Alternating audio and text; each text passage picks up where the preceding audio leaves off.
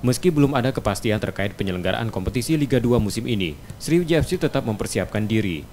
Menghindari kebosanan pemain selama berlatih, Sriwijaya FC memberikan kelonggaran libur selama empat hari pemainnya. Ditundanya kompetisi pada pertengahan Oktober ini, Sriwijaya FC memiliki waktu persiapan tambahan satu bulan. Selain untuk persiapan, Sriwijaya FC juga memberi kesempatan tim sepak bola Kabupaten Kota di Sumsel untuk menjadi lawan latih tandingnya.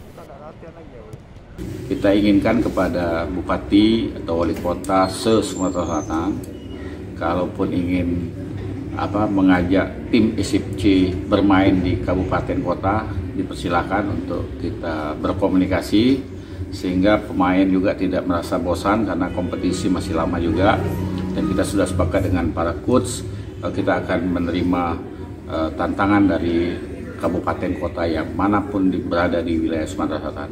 Tidak juga bisa juga dari tokoh masyarakat untuk mengundang uh, para tim-tim SFC yang akan bermain di kabupaten kota.